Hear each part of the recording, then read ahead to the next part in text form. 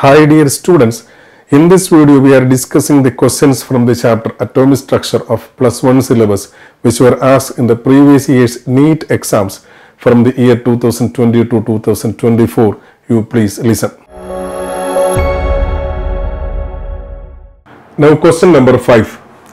If radius of second Bohr's orbit of the helium plus ion is 105.8 picometer, what is the radius of third Bohr's orbit of Li2 plus ion? Option number 1 158.7 angstrom. Option number 2 158.7 picometer. Option number 3 15.87 picometer. And option number 4 1.587 picometer. Listen, we know the radius of nth Bohr's orbit of an atom Rn is proportional to n square divided by z where n is a principal quantum number of the orbit and z is atomic number of the atom. Now we can write Rn is equal to a constant k into n square divided by z. In the question radius of second Bohr's orbit of He plus ion is given which is equal to 105.8 picometer. So we can calculate R2 of He plus ion which is equal to constant k into here the value of n is equal to 2 2 square.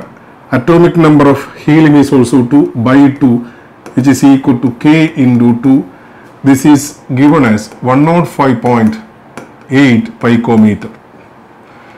Therefore we can calculate the value of k which is equal to 105.8 divided by 2 that is equal to 52.9 picometer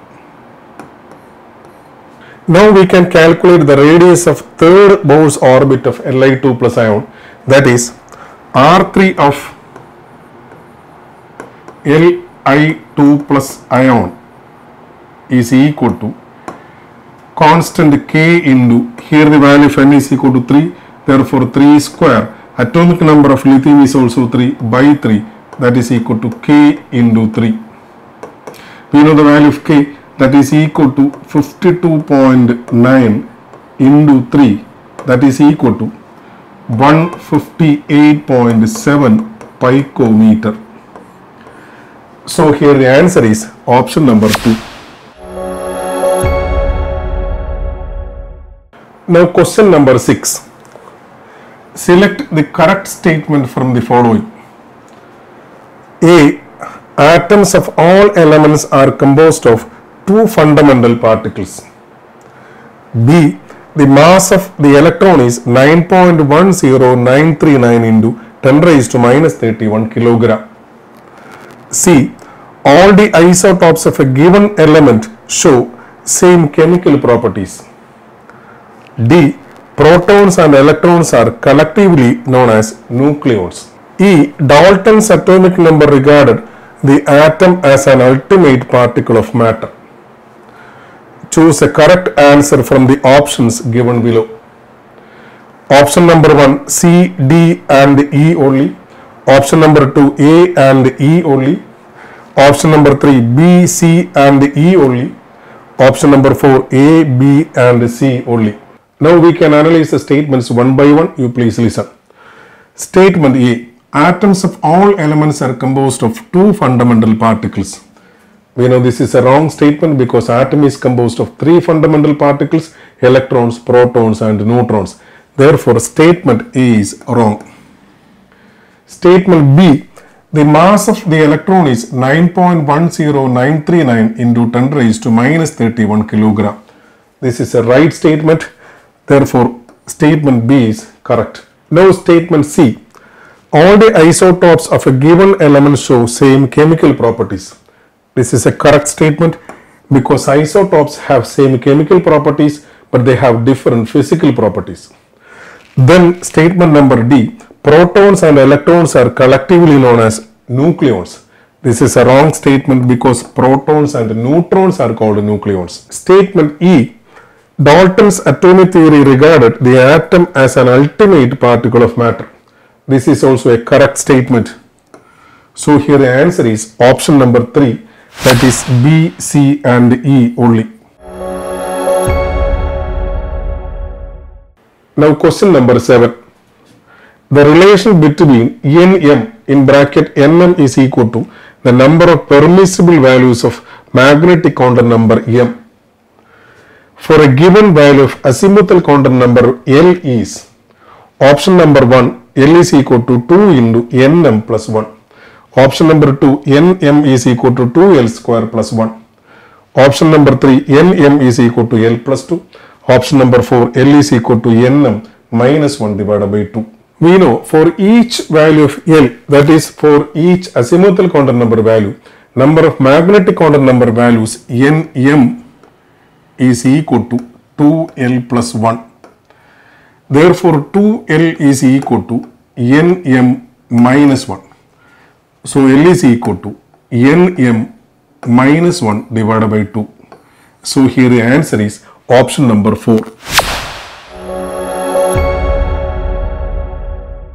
Now question number 8. The energy of an electron in the ground state that is N is equal to 1 for helium plus ion is minus x joule.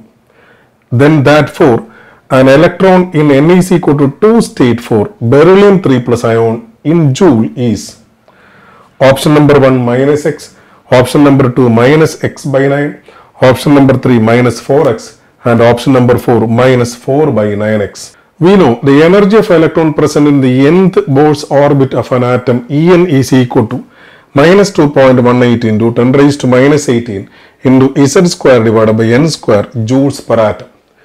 Here Z is atomic number of the atom and N is a principal quantum number value of the orbit. Here in this question, the energy of an electron in the ground state of He plus ion is given as minus 6 joules. That is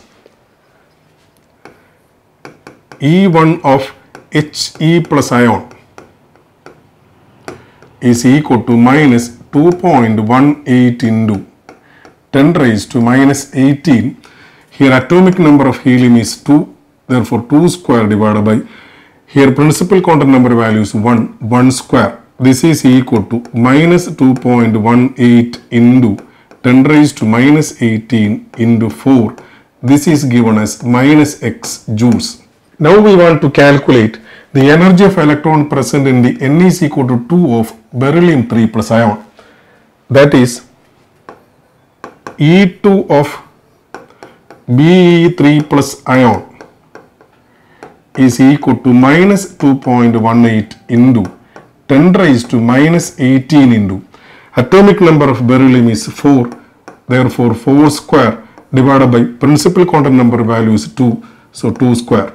This is equal to minus 2.18 into 10 raised to minus 18 into 4 these two are same therefore this is also equal to minus x joules. So here the answer is option number 1